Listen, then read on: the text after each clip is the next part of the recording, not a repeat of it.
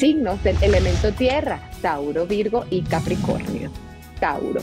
Para el signo de Tauro hay una bendición absoluta. La carta de la suma sacerdotisa es una carta muy bonita que además te trae una bendición del cielo, te trae paz y te trae calma. Justamente el sol todavía está en el signo de Tauro y en este momento, desde toda esa energía, cuando Mercurio comienza a retrogradar, no te puedes quedar atrás y debes estar limpiándote frecuentemente y poniendo algún tipo de protección para ti.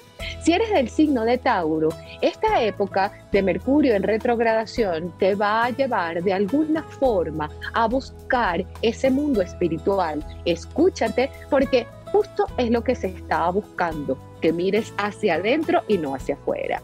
Si eres del signo de Tauro, puedes ponerte algún cristal verde que te traiga ese movimiento de salud, la sanación en cuerpo, alma y mente. Un jade y una aventurina, si eres del signo de Tauro, están perfectos para ti.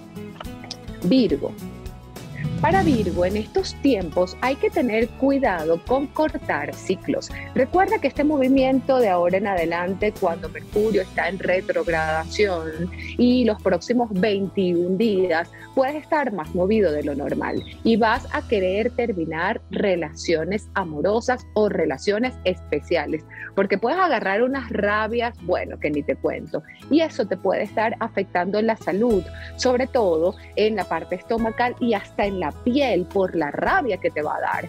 Si no lo expresas, si no lo liberas, e incluso si no te lo tomas con calma y eres el signo de Virgo, estas próximas tres semanas pueden estar algunas cositas por allí como bastante fastidiosas. Así que te voy a recomendar que todo el tiempo y los próximos 21 días, comenzando desde hoy, cuando hay tantos movimientos en el cielo y viene esta retrogradación de Mercurio, Plutón en retrogradación, la temporada de eclipse va a estar muy movida, te pongas un cristal verde que puede ser una malaquita, una aventurina, un cuarzo verde, para que no estés tan explosivo y el cuerpo físico se mantenga estable. Capricornio. Si eres del signo de Capricornio, regresan ciertas situaciones de pareja para ti, regresan ciertas situaciones donde vas a estar movido, sobre todo en el área emocional, la pareja y los acuerdos. Lo que se había quedado como lento para Capricornio se retoma pasa otra vez la oportunidad y si quieres resultados distintos, hazlo distinto.